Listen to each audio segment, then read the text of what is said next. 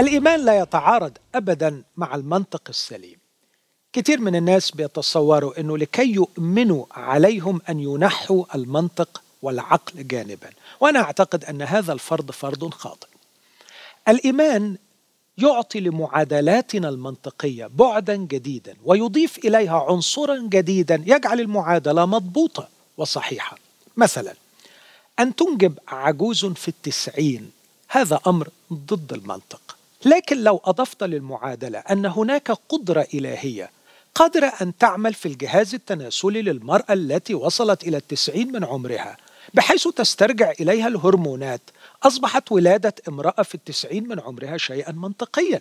لكن المهم هل توجد هذه القوة القادرة أن تصحح هذا الجهاز وتعيد إليه نضارته وشبابه؟ أن يأكل شعب من حوالي ثلاثة ملايين فرد طعاما لمدة شهر لحما في برية في صحراء جرداء. أمر مستحيل منطقيا من المستحيل. لكن إذا كانت هناك قوة خارقة تستطيع أن تجعل السحب وتجعل العواصف والرياح تحمل ملايين من طيور السلوى وتلقيها على هذه الصحراء. أصبحت المعادلة منطقية ومقبولة.